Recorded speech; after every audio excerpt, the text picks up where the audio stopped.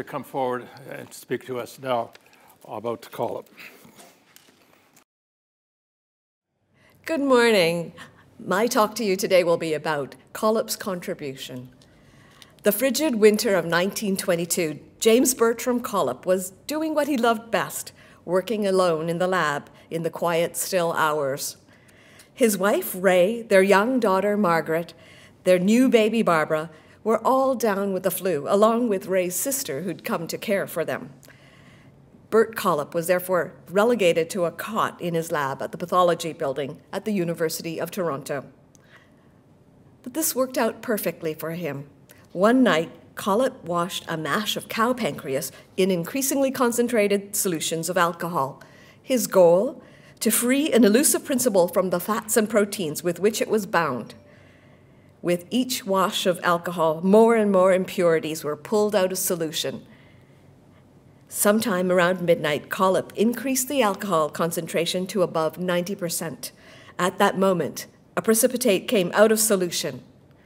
As a colleague later put it, Collip then saw insulin. Collip ran down the hall to telephone his wife. What does it mean to say that insulin was discovered? Of course, what is usually meant by the discovery of insulin, what is being marked in centenary celebrations around the world this year and last, is not so much the discovery of the existence of a hormone in the pancreas but rather the development of a treatment for people with diabetes. And if that is the case, then when was insulin discovered and who discovered it? 42 years ago, historian Michael Bliss decided to take on the discovery of insulin as a project for his sabbatical. Bliss uncovered layers of mythology and misrepresentation that had accumulated over the years. What he realized he needed to do was to break down the question of who did what and who really deserved credit. In 1921, diabetes was relatively rare, but when diagnosed in childhood, it was rapidly and inevitably fatal. People with diabetes experience ravenous hunger, fierce thirst, frequent urination, and sugar in their urine. The state of the art treatment was a severe starvation diet, but even when patients were faithful to this diet, they could expect to live only two or three years longer. A leading hypothesis was that diabetes was due to a patient's a problem in the patient's pancreas, and that if an extract could be made from animal pancreas, it might be used to treat diabetes in humans. There had been an estimated 400 such attempts to make an extract, but no one had been able to make one pure enough that it could be safely given to humans. In October 1920, Frederick Grant Banting was a surgeon recently returned from the battlefields of the Great War. He conceived what he thought was a novel approach to making an extract to relieve diabetes. Driven by this idea, he persuaded John James Rickard MacLeod, to, professor of physiology at the University of Toronto, to provide the facilities and resources to let him test his hypothesis. Banting began his experiments in May 1921 guided by MacLeod and furnished with laboratory space, dogs, and a student assistant, Charles Herbert Best, a new graduate in physiology and biochemistry. By August 1921, Banting and Best succeeded in making an extract that lowered the blood sugar in depancreatized dogs. For these two young researchers, this was an important accomplishment. But in truth, Several other researchers, about whom we will hear more later, had already done as much or more. That is, Banting and Best had, had, not had not done anything that had not already been accomplished and published by others. They had all made pancreatic extracts that affected diabetic symptoms in experimental animals or in human patients. All of these extracts, however, contained impurities that caused harmful side effects, such as fevers, chills, and abscesses at the site of injection. What no one had been able to do, what remained the holy grail, was to make an extract that could be used safely and continuously to treat a person with diabetes. What the Toronto team now needed was a good biochemist. Enter James Bertram Collip. Collip was born in Belleville, Ontario, and studied at the University of Toronto. As an undergraduate, Collip became so captivated by the research ideal that he gave up his plans to study medicine and pursued graduate studies in biochemistry. He was awarded a PhD in 1916 and joined the faculty of the University of Alberta in Edmonton. By 1921, Collip was a seasoned experimentalist. Through the war years, he managed to eke out time for his research, even though his teaching load was heavy and resources were scarce. Summers with his family were often spent at the Nanaimo Biological Station, where he collected starfish, jellyfish, lampreys, and snakes for his research. And after the war, he spent a stimulating summer in Britain, which triggered a flurry of 17 publications on respiration, adrenaline, and osmotic pressure. In 1921, he was awarded a Rockefeller Traveling Fellowship, and he and his young family arrived in Toronto to begin their year of leave. Collip met Banting in MacLeod's office around May of 1921, and he offered his help. And in December Things were going so well that Banting asked MacLeod to invite Collip to join their work. What happened in the next six weeks would be remarkable. Collip set to work systematically and quickly. Since he was accomplished in doing much with little, he was soon able to find ways to speed up the research. By this date, the team met every day for lunch, so it's likely that MacLeod also contributed key suggestions. Collip found that he could use normal rabbits rather than depancreatized dogs to test the strength of his extract, which meant he had a much less expensive and more readily available test subject than Banting and Best had. He adopted a new method of blood glucose analysis that allowed quick, convenient measurements with a small volume of blood. And in rapid succession, Collip made several key contributions. First, he proved that the extract reduced ketones in the urine. Second, he showed that it allowed the body to convert glucose into glycogen in the liver. These findings were important because Banting and Best had shown that the extract caused a drop in blood sugar. But this in itself was not conclusive because blood sugar can be affected by many other factors such as shock or the presence of foreign proteins. Collip's data showed that the extract actually restored the ability of the diabetic body to metabolize sugar. So it's clear that Banting, the physician, was looking for a treatment for diabetes, but the research scientists, Collip and MacLeod, were thinking of what they were doing in broader scientific terms. They were not just trying to purify an extract, they were also trying to clarify the chemical nature of a hormone and to understand its role in the physiology of the animal body. Collip noticed that as his extract became more and more potent, his test rabbits became so hungry that they began to eat wood shavings. And one day, a rabbit went into convulsions. At first, Collip thought the extract must be toxic, and indeed, previous investigators had seen this exact same reaction and has assumed the same thing. But suddenly, Collip had an idea. Maybe it was not so much that his extract was not pure enough Maybe it was actually too pure. He quickly took a blood sample from the rabbit and set it aside, and then he grabbed some sugar, made up a solution, and injected the rabbit. The rabbit recovered. When he later tested the blood sample that he had set aside, he found that indeed there had been almost no glucose in it. Collip had discovered the hypoglycemic reaction. A colleague who was in the lab at the time said, It all looks simple now but it was the most thinking per square meter per minute that I have seen. Collip was the first to correctly identify the hypoglycemic reaction when dangerously low levels of blood sugar occur after too great a dose of insulin is given. And this finding served as an important warning to physicians who would later use insulin. For Collip himself, this month felt incredible. In early January, he wrote to Henry Marshall Tory, president of the University of Alberta, saying, the crucial experiment was tried out just before Christmas break, and the results were so striking that even the most skeptical would be convinced. I have never had such an absolutely satisfactory experience before, going in a logical way from point to point into an unexplored field, building absolutely solid structure all the way.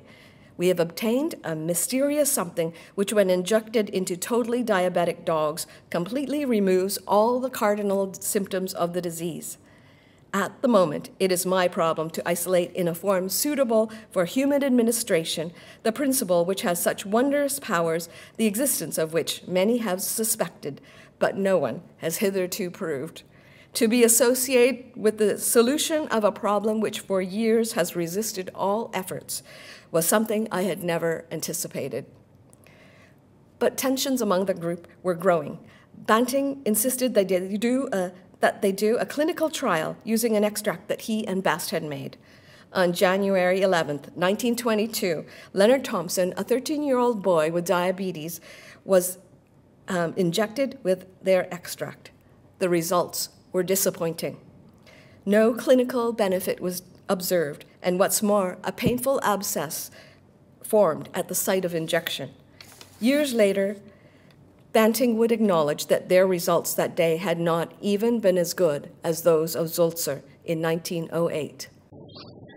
In the days that followed, Collip threw himself into the purification problem, following standard biochemical procedures to mash, wash, filter, and centrifuge the extract.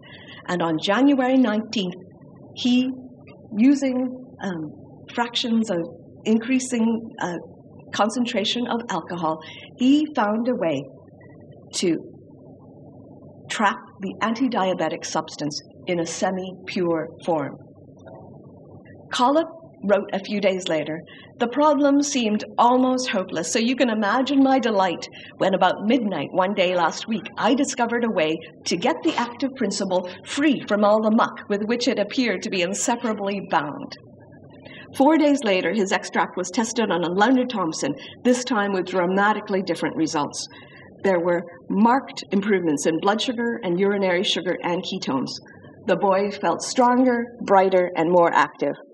This was the first unambiguously successful clinical use of a pancreatic extract in a person with diabetes. In six weeks, Collip had accomplished what, other what had eluded other researchers for decades. Collip's achievement was a key breakthrough for the Toronto group. And when Banting and MacLeod were awarded the Nobel Prize in 1923, Banting immediately announced that he would share his prize with Best, and MacLeod followed suit by sharing his with Collip to indicate he felt Collip's role had been equal to that of the rest. But as the years went by, the discovery grew increasingly associated with Banting and Best alone.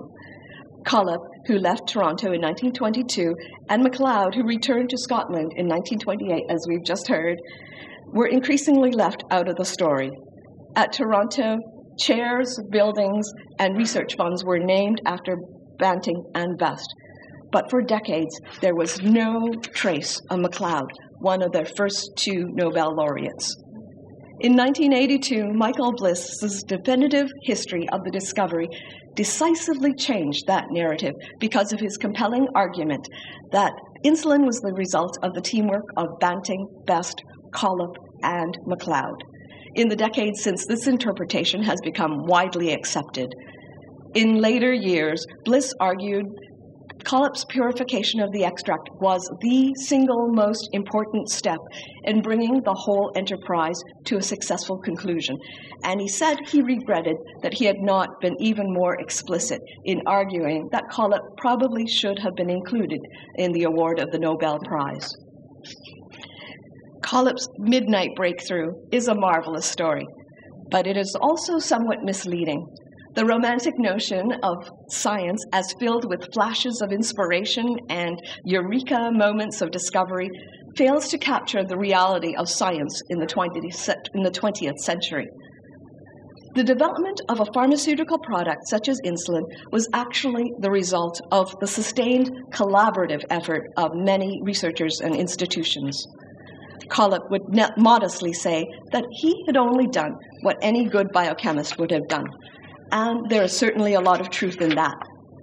What is even more to the point is that he always recognized that the endeavor had been collaborative. Bliss urged us to appreciate that the insulin discovery did not come out of thin air. He used the metaphor, the field of medical dreams, paraphrasing the baseball movie's promise if you build it, they will come. Collip was a good biochemist, and he was in the right place at the right time.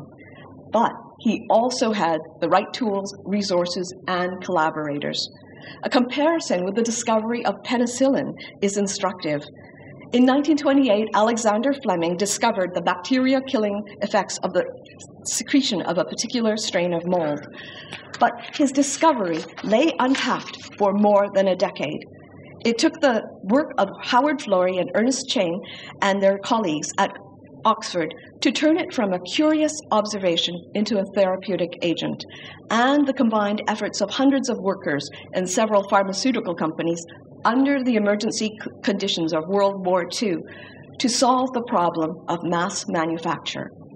In contrast, the insulin collaborators were able to get their life saving product into the hands of doctors and patients in many countries around the world the following year a breathtakingly short time.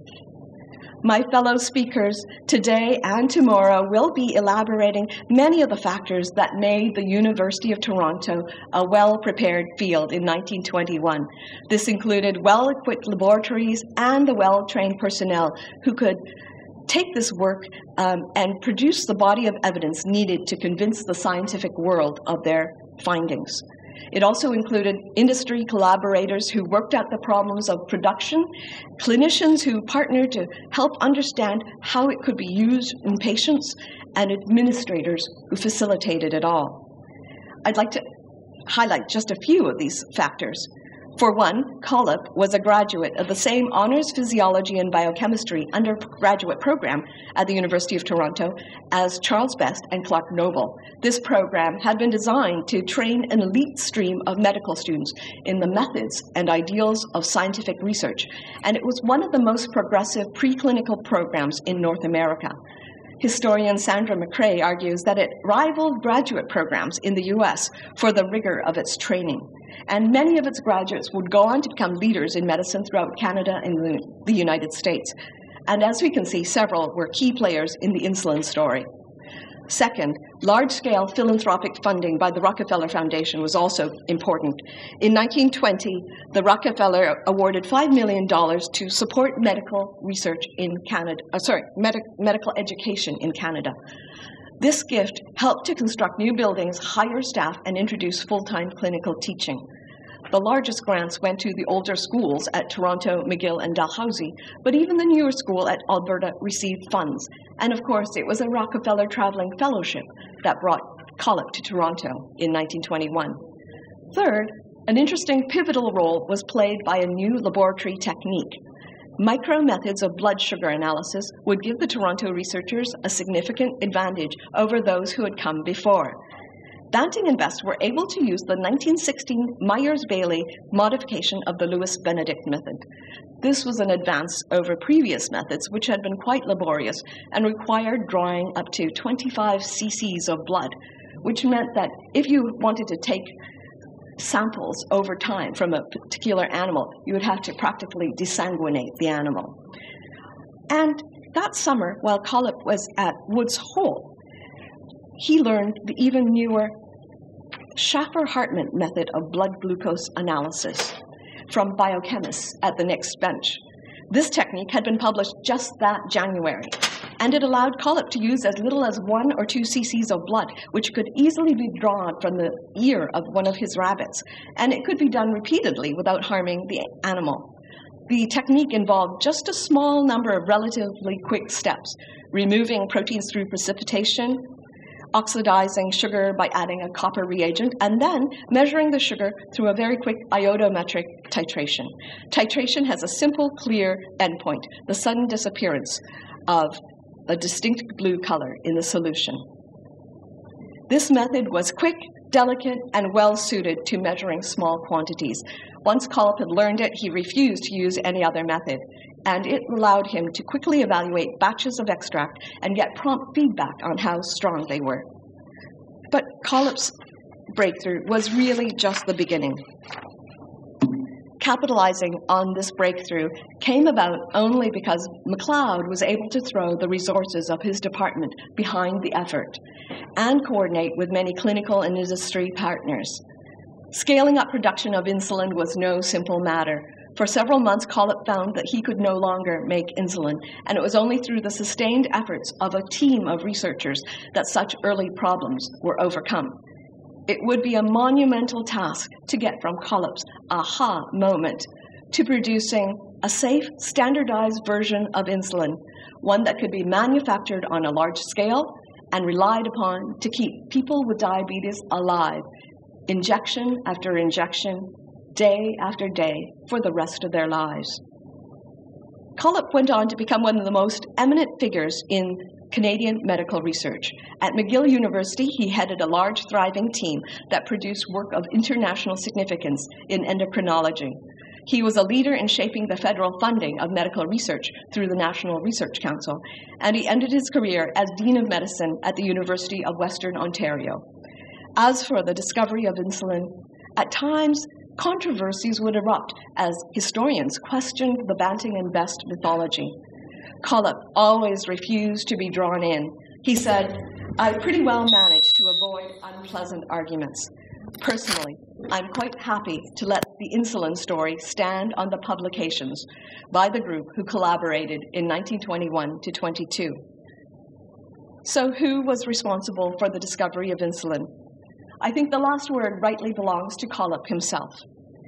Years later, the philanthropist, the philanthropist Gladys Muttart wrote to Collip to tell him of her plans to donate a Wurlitzer organ, and she wished to engrave a plaque with the words, in recognition of the contribution of James Bertram Collip to the discovery of insulin. Collip replied, saying that he was deeply touched, but he asked for a change of wording. Instead of the discovery of insulin, he substituted the development of insulin therapy for diabetes. He explained, although I have been guilty of using the word discovery on occasion myself, generally speaking, I do not like it. Most so called discoveries represent simply the last but important step in a long series of previous steps, representing the contributions of many others through the years in the scientist's search for truth. As we celebrate the centenary of insulin's arrival, we are sure to slip into using the word discovery, but let's not forget the far richer history of collaboration that is contained within that term. Thank you.